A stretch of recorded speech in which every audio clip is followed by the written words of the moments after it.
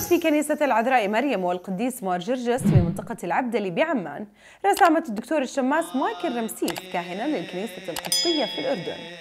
ترأس القداس الأنبا أنطونيوس مطران الأردن والكرسي الأورشليمي والشرق الأدنى. بمشاركة الأنبا رفائيل أسقف عام كنائس وسط القاهرة وأسقفية الشباب. والقمص أنطونيوس صبحي حنا راعي الكنيسة القبطية الأرثوذكسية في المملكة. وعدد من الآباء الكهنة والشمامسة وحضور جمع غفير من أبناء الرعية القبطية في المملكة. وكانت قد أقيم في ذات الكنيسة قداس عشية ومحاضرة روحية للأنبا رفائيل أسقف عام كنائس وسط القاهرة.